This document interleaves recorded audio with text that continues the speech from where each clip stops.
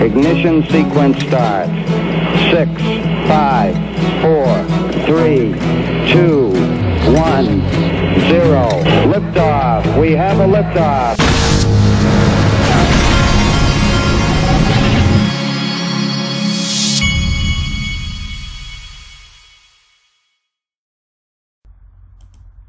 Hey, everybody, this is the Digital Asset Investor, and I want to start here because Ray Fuentes from Linqto explains to you about PolySign. This is why I've been scooping up PolySign on the platform.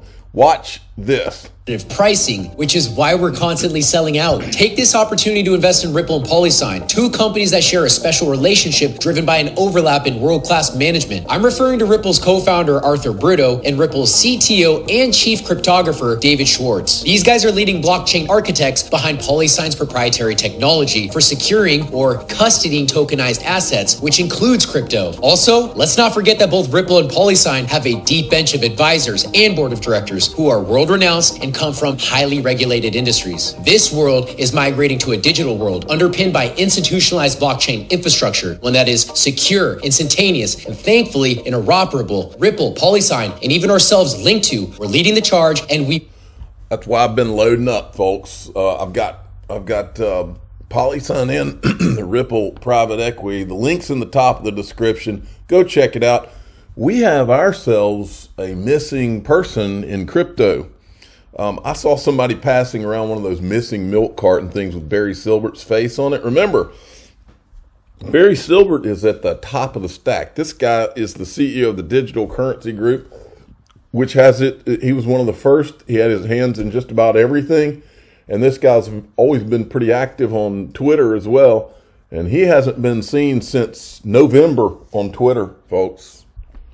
You have to wonder and he, we've we've heard rumors about Genesis, which is owned by the Digital Currency Group.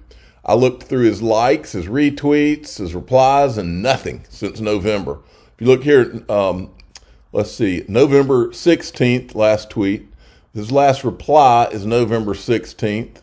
Um, his last like is November 10th. Okay. Where in the world is Barry Silbert? Now, yesterday I posted this and I showed it to you in my last video, but I wanted to zero in on something to make sure everybody caught it because this video, let me do a little um, refresh here so that you can see how popular this video was. This is Digital Perspectives when he's on BitBoy's show. It's had 70,000 views. It's about pre-allocation. I want you to listen a bit of it, right central banks here. already holding some of it you know, this gets quite interesting too, because if you go into that uh, summary judgment, they have pre allocated contracts, but we don't know exactly how many and to whom. Now, remember, folks, that's important. And a lot of people probably missed that in the summary judgment. But the other thing that's important to understand is we know we know two we know that Greg Kidd and we know that R3 had option contracts on XRP. Well, where do you think and Greg Kidd's was a billion, and I think R3's was like five billion. Well, where do you think? How do you think they would have structured that? It's not. It's not from Ripple. It'd have to be from the escrow. If they've got, if Greg, Greg Kidd had a billion set aside, would have to be. And you know, there was a rumor from Kendra Hill back in the day that Amazon also had five billion XRP. I wonder if Amazon had any pre-allocated option contracts to, this was tweeted yesterday by ProCoinNews.com, who is the official sponsor of the Digital Asset Investor Hunting and Fishing Club. And they're, you know, we've heard all these 1215 settlement and or decision on summary judgment rumors, Charles Hoskinson, Fox Business. What if, folks? I'm sure it'll be nothing, but what if? It's always fun to speculate, even though you're not allowed to do that. Is tomorrow the day that it all ends? Tomorrow being today. XRP settlement uh, judgment, something else, nothing, maybe nothing. But it sure is fun. My wife, I was actually talking to my wife about this, and she said, Call me if something happens. And you know, something interesting about my wife, for those I don't talk about my wife much on this channel, part of the reason is that she doesn't even listen to my show. My wife has never listened to one of my entire shows. interesting piece of trivia. And it, it doesn't offend me because it's kind of like when your kid's in a play um, at school. you're you're almost like grabbing your seat because you're you're worried about them and you don't want them to mess up in front of all these people. I think it's that same th- reason that, and I'm like, you just don't have any idea what I've been through. so anyway, um, then Eleanor Terrett says this new SEC enforcement director get this guy that he's the enforcer for Gary says litigation against SBF will be supervised by Ladan Stewart. Stewart currently serves as lead counsel to the SEC in the Ripple lawsuit. So, what if, folks? What if? And we also have that sunshine meeting today. Then I said this this is something people are not thinking about, folks. The SEC has failed twice to structure the crypto markets behind closed do- doors with market players so they could try and monopolize the markets for themselves and their friends. First with ETHgate, Joseph Lubin, Consensus, busted. Second, FTX Gate, SBF meeting with Gensler at CFTC, busted. Two times that our government has tried to structure something behind the scenes. This time, they were helping out a fraud. And Gary Gensler still has a job from the politicians. I think it's interesting that that charge is in this early stage indictment. That sends a signal to me that DOJ is looking for bigger charges as relates to potential political corruption. Uh oh. I know a guy that you should go talk to, DOJ. His name's Gary. Um, okay, and then let me see what this is. Hold on. Old Mike Novogratz was on CNBC teeing it up again.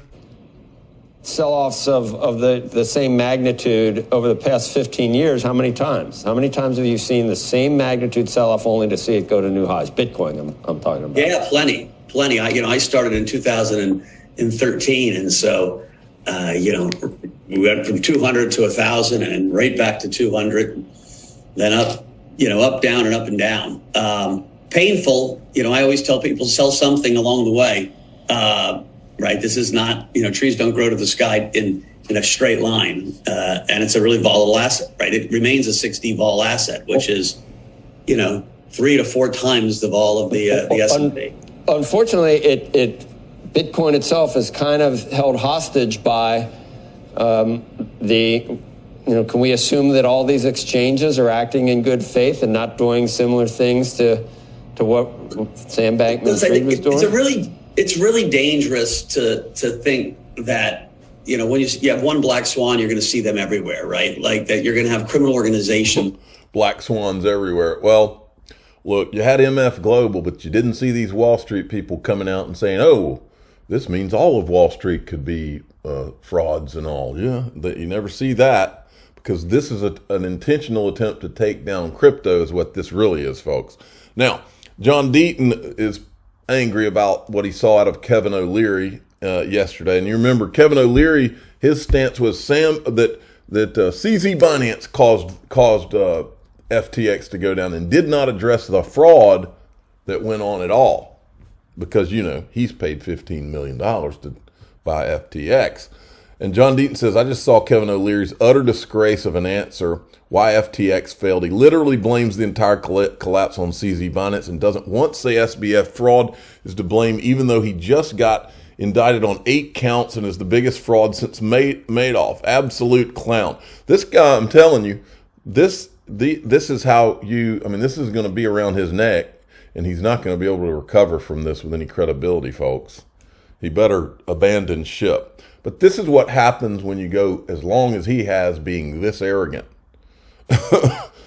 Kim Dotcom makes a really great point. CZ has been playing with fire in the U.S. establishment. Binance and CZ are targets now. Anyone who thinks that CZ can wipe out the second biggest donor of the Democratic Party without consequences is wrong. I'm sure there will be indictments next year, pull out of Binance. After our FTX Twitter spaces and my comments about CZ's role in the FTX collapse, I've been contacted by Binance insiders, former, uh oh, He's got insiders, Binance insiders, former and current. The stories they share, not just with me, paint pictures of the Wild West lawlessness. I'm certain that BZ and CZ have big trouble coming. Your crypto is not meant to be on a third party exchange anyway. It defeats the whole purpose of crypto. Elon Musk and I warned you in our FTX Twitter space to withdraw your crypto from exchanges. Many others in the industry followed with the same advice. I think you ought to listen to him, folks. Ledger Nano OS is in the description of this this video, top of the description if you want to get one. All right, and then uh, Peter Schiff. I don't understand why Kevin, how Kevin O'Leary can claim to have lost 15 million in FTX when the entire 15 million was given to him by SBF to pump FTX. Kevin's only loss to, is to his reputation. A lot of people who aren't nearly as rich lost hard-earned money due to his endorsement. CZ says, I agree with Peter on this one. Then CZ was on CNBC this morning. Let's go just back to back to the the, the specifics here. In 21, Sam Bankman-Fried said that he bought you out, your stake in the company. I imagine he would tr- he transferred funds to you, likely somewhere between two and three billion dollars. Is that right? I remember it was 2.1 billion dollars at the time, and okay. a big chunk of that is in FTT tokens, which are now worthless. So he sent you FTT tokens and you believe that, that the majority of the $2.1 billion was that? Um, it's a combination of, um, I believe it was a combination of BUSD, BNB, and FTT. Um, I don't know the exact combination now, but it's probably about, um, I, I don't remember exactly, but FTT is a big chunk. And that's why we still have like, you know, we, even after the FTT price dropped over the last year, we still had $500 million worth of it uh, $580 million worth of it on the day when we transferred from the address we received a year and a half ago. We never touched it. We actually actually kind of forgot about it. And then um, we transferred it on the blockchain from that address we received to Binance.com, and that got picked up by the community. So in, the, in this industry, everything's very transparent. Well, but, but my question to you is a, a both a bankruptcy uh, judge and potentially others uh, could seek, uh, like they did in the in the case of uh, Bernie Madoff, frankly, to uh, to seek to uh, claw back that money? Are you prepared to to send that money to them? And by the way, I mean, I, and maybe this is a risk to to your firm. You know, some will measure it as the value of FTT today. Some may measure it on the value of FTT at the time. So, if you had to send a check in U.S. dollars for 2.1 billion dollars, could you? So I think we'll leave that to the lawyers. Um, I think our legal team is perfectly capable of handling it. My expectation, though, just from common logic, is that there was a lot of spendings um, after that transaction uh, in, the, in the more recent times. FTX done to you know Miami, no, football stadiums, uh, referees. Mm, um, after that, I was watching that interview, and after that interview, Jim Cramer comes on on cue and says, "Oh, I just don't trust that kid. This guy, he's not the next Jamie Dimon." As if Jamie Dimon is the standard. I mean, this Jim Cramer. You know, all of these pe- all of these people who, even in front of Congress yesterday, to have have this actor in front of Congress that's obviously been put up to doing it from the bad guys in government. I mean, it's so obvious what's going on, and these people are always all being exposed in real time. Now, I think we have our first FTX whistleblower right here. We got some new details as well about what may have led to the arrest of FTX founder and former CEO Sam Bankman-Fried. What happened? Go ahead. Oh. Uh, according to uh, newly released uh, Bahamian court records, uh, one of the uh, Bankman-Fried's closest associates and a co-chief executive of FTX Bahamas uh, entity telling regulators days before the company's bankruptcy filing that SBF likely funneled customer funds from FTX to cover losses at the hedge fund Alameda Research. There's previously unreported contact between the former executive, uh, Ryan Salame, and the Securities Commission. All right, there's your first whistleblower right there. By the way, we never got one of those out of the SEC, including Hester Peirce in ETHgate. Michael Branch, according to several updates shared by Whale Alert today, more than 139 million XRP tokens have been moved by Anon whale with whales within the last 24 hours in four transactions. I do not know what an Anon whale is. What is an Anon whale? What's the difference between what's it? An, is it an XRP Anon whale what does that mean? I know Anon is like a reference to the Q movement, but what does Anon have to do with XRP whales? Confused. I'm the digital asset investor. I'm not an investment advisor. This is for entertainment purposes only. Please subscribe, hit the like button, tell your friends and family that I don't know what an Anon whale is.